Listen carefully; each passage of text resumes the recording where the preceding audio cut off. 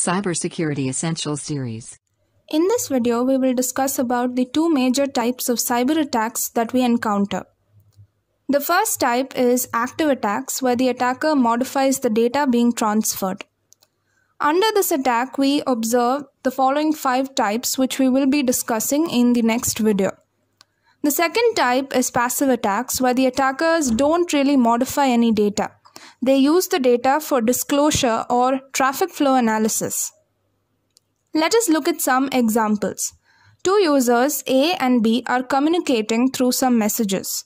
The hacker, with their malicious intent, watches over these messages without making any visible changes. This can be classified as disclosure. The other option for passive attack is when the attacker analyzes the message transfers.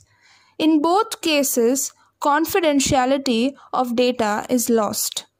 In the next video, we will look at the details of active attacks. Thank you for watching. Please like, share and subscribe to our channel.